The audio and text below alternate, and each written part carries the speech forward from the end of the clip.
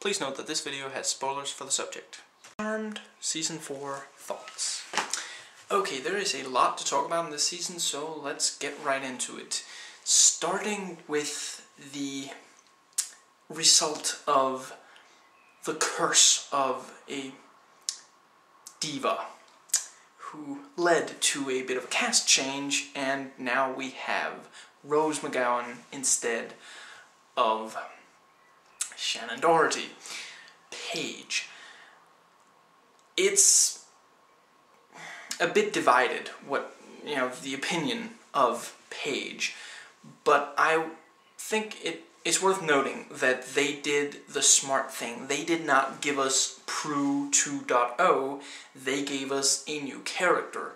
It is a younger sister shifting the balance, making Piper the new older sister, and putting Phoebe in the middle instead of allowing her to continue remaining as the youngest, the most reckless one. And Paige is also not just a new Phoebe. You know, they're different characters, so you know, what, whatever you feel about Paige, it's at least not like they're, you know, just trying to stick us with a new of what we've already seen. You know, they took a chance, and I think that's at least worth noting. Personally, I'd have to say I probably do prefer Prue but it is interesting, especially with the powers, that this one is, you know, half witch, half white lighter. We get the orbing along with the telekinesis, and the telekinesis is also slightly altered, you know. It's not, you know, grabbing something in midair and throwing it back. She, you know, orbs it to her hand and then uses it. The eh, from the very beginning, the this season really it takes off with a bang. You know, we have the source still, you know, hot on their trail. We have Shax still, although he is relatively easily defeated. The but yeah, the source goes very quickly, very directly after Paige on the advice of the Oracle. And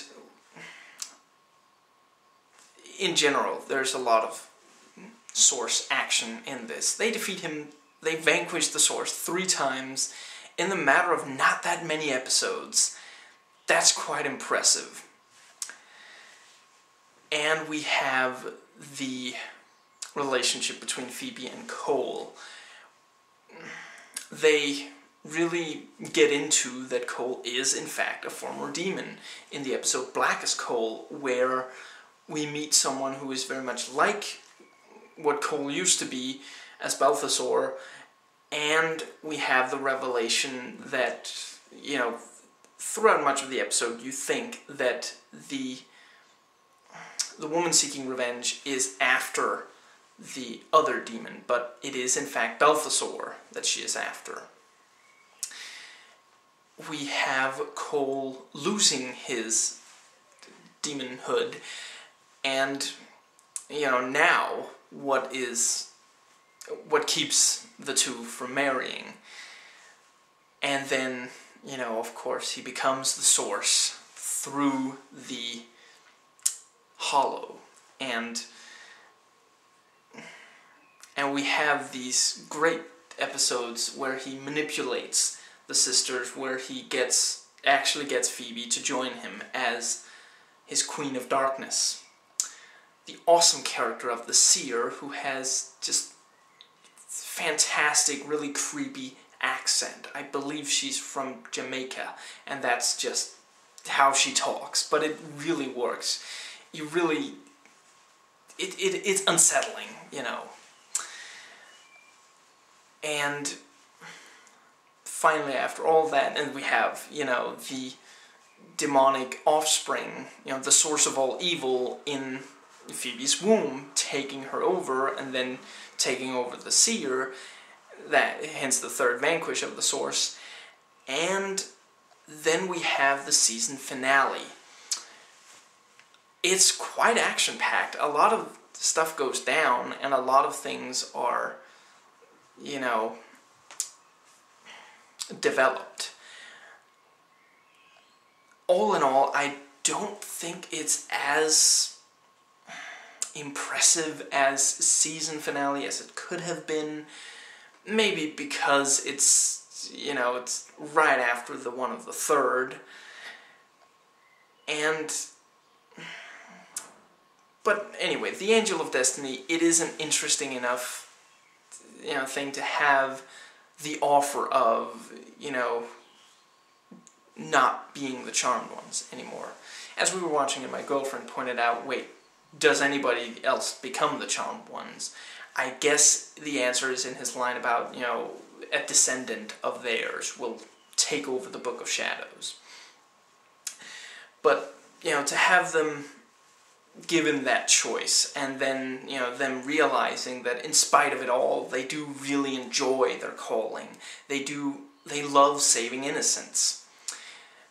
And the whole plot with the witch hunter, Bruce Campbell, who is just fun to watch in pretty much anything he's in. And the whole, you know, he actually has both you and the witches believing he is the FBI agent and Selina is the witch hunter. And then we realize, you know, she's the daughter of a witch, I guess, hence no white lighter for her. And, you know, he's the witch hunter. And he really has the gravitas to carry off. You know, he really has you believing that he has killed tons of witches, you know, burned them at the stake. And he's going to do it with this one as well. And of course, Cole, once again, transforming who he is. You know, he he ends up at the wasteland. He is ready to accept his fate after talking with Phoebe. You know, he's ready to move on, even though he's going to the other place. And then he accidentally gets a demonic power and he remembers you know, what it was like to have powers, to, you know, and he just can't quite give up on their love. And, you know, he gets more and more powers, he kills the beast, and he teleports away from wasteland, saves Phoebe's life, and now we're left wondering what will he do in the next season. You know, he is technically not a demon. He's no longer the source. He confirms that the source is vanquished. There's no reason for him to lie about that.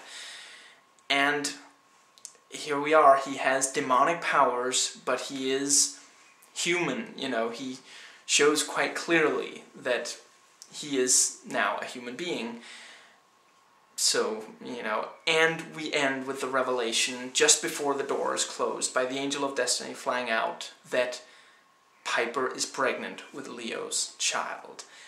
And that sets up the next season very nicely.